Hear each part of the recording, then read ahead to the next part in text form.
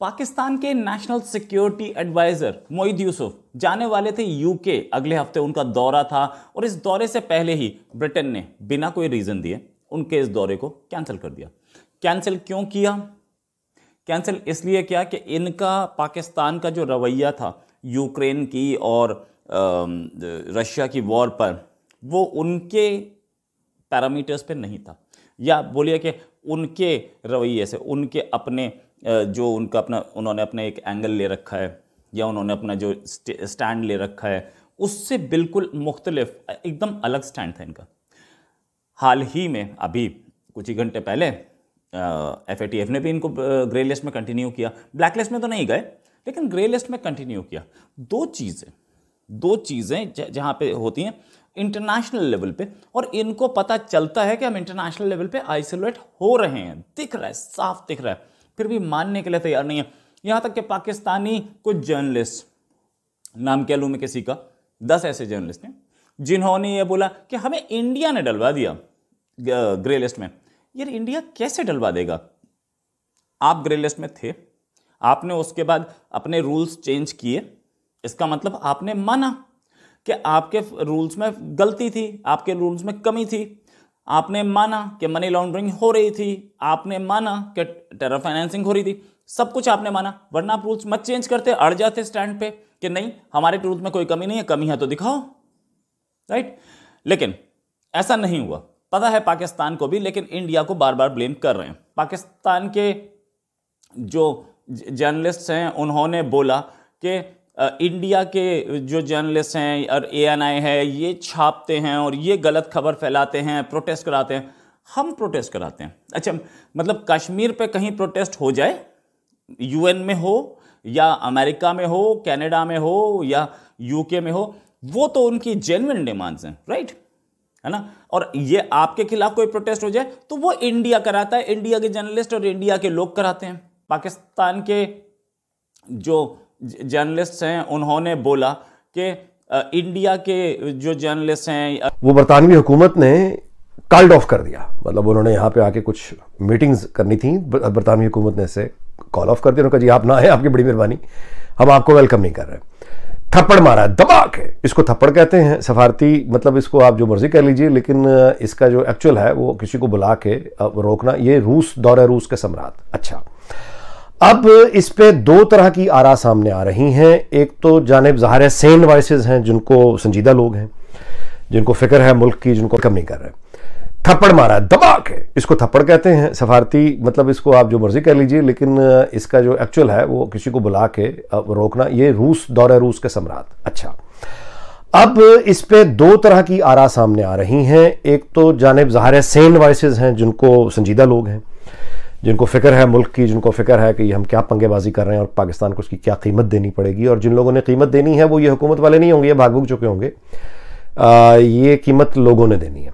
वो तो ज़ाहिर है इस पर परेशान भी हैं, देख भी रहे हैं। दूसरी तरफ़ एक वो जज्बाती शूर आज तक ज़िंदा है, जो ये हमें यकीन दिला रहा है कि जी, अमरीका की ऐसे की तहसी यूरोप की ऐसे की तहसी रूस और चीन, और हम देखें इनकी ऐसी तहसीब फिरेंगे अमरीका की, और ये वो ये वो वाला शोर है। अच्छा अब इस शोर को अगर आपने समझना हो तो आप इसको बड़ी आसान सी, आप एक मोहल्ले या किसी गाँव में रहते हैं। बाकी भी लोग रहते हैं भांत भांत के रंग बिरंगे लोग। जैसे अल्लाह ने कायनात बनाई है खूबसूरत बनाई है मुख्तलिफ़ रंगों के फूल हैं हर बाग में। तो वो मतलब है कि अब बात यह है कि हमारा घराना उस घराने में ऐसा है कि हम, यानी बाकी जो घर हैं, वापस में लेन देन भी करते हैं, कारोबार भी करते हैं पीसफुल भी रहते हैं लड़ते झगड़ते भी हैं, जंगे भी होती हैं, सब कुछ होता है, लेकिन बहरहाल हमारा किरदार उसमें अपनी अच्छाइयों और बुराइयों के साथ जो भी है, वो है। लेकिन उसमें एक चीज़ मुश्तरक है, इस मोहल्ले या गाँव का कोई ऐसा हमने घर नहीं छोड़ा जहाँ से हमने पैसा ना पकड़ा हो। कोई घर हमने ऐसा मुश्किल से ही छोड़ा हो, अमीर घर अमीर घर। यानी हमने बेसिकली पैसे सबके उधार देने हैं, कहीं से हम फ्रिज उठा के लाए हैं, कहीं से हम टीवी उठा के लाए हुए हैं। ठीक है, कहीं से हमने मोबाइल सेट उठाया हुआ है उधार का। कहीं हमने पैसे पकड़ के बिल देने अपने घर के, क्योंकि अपना काम शाम जितना भी हम करते हैं, ये जो भी हमारी कमाई है, वो सारा का सारा हमारी यूँ समझिए कि अशराफिया जो ये तय करती है सब कुछ, वो खा जाती है पीछे लोगों के लिए, बचता कुछ नहीं है। तो फिर हम धारा के पैसे मांगते हैं लोगों से जाके। अब मुझे ये बताइए कि उस गाँव या मोहल्ले में जहाँ पे हर चौधरी के आपने पैसे देने हैं, पैसा, वो पैसा जो अगर ना मिला तो घर में फाके हैं? वो पैसा जो अगर ना मिला तो चौकीदार जितने खड़े किए हुए हैं, वो बंदूकें मतलब उनमें असला वो फारग है? वो पैसा जो अगर ना मिला तो बच्चों की जो स्कूल की फ़ीस है या वट वो भी फ़ारग है। दवाइयाँ जिसकी हमें मुस्तकिल ज़रूरत है, सेहत ख़राब है, मरीज़ इतने हैं, वो दवाइयाँ भी फ़ारग हैं। तो बुनियादी चीज़ है पैसा। हमने पैसा बड़े बड़े चौधरीों के घरों से हमने पैसे उठाए हुए और वो पैसे अगर हमें ना दें तो हम फारग हैं। हमारे चौकीदार भी फारग हैं, हम भी फारग हैं। यानी वो पैसा अगर ना आए तो ऐसी तैसी हमारी फिर जानी है। ठीक हो गया। अब मुझे ये बताइए कि इस ऐसे एक गाँव में ये जो हमारा घर है, कि हर बड़े चौधरी से हमने पैसे पकड़े हुए हैं, हर बंदा, और वो सारा मोहल्ला बाई देवे हमारे झूठ यानी आपस में उनको जो भी इख्तलाफात हो, एक चीज़ में वो एक है कि ये वाला घर झूठ बहुत बोलता है। इन लोगों की बात पर एतबार नहीं किया जा सकता। ये हमारी शोहरत है। अब इस शोहरत के लोग जब ये वाली बातें करते हैं ना, कि ये अमेरिका की ऐसी की तैसी और फलां की ऐसी की तैसी, ये इतने आप यूँ कहिए कि ना इन लोगों को शाम याद है, ना इनको इराक याद है ना इनको बाकी कोई और तबाही नज़र आती है। जब तक इनके अपने घरों पे शोले ना भड़क उठे, ये आखिरी जलते हुए कहेंगे हो हो असी तो सोचा ही नहीं सी ये आपको मैं मज़ाक नहीं कर रहा। ये तमाम लोग जिस दुनिया में रहते हैं ना, ये खुद मुख्तारी की बातें करते हैं, आज़ादी की, जिन मुल्कों ने अपने अपने जो स्टेट बैंक हैं, वो उसकी सॉवरेनिटी को दूसरे मालियाती इदारों के हवाले कर दिया हो ना, उनके मुँह से खुद मुख्तारी की बातें फिर अच्छी नहीं लगती।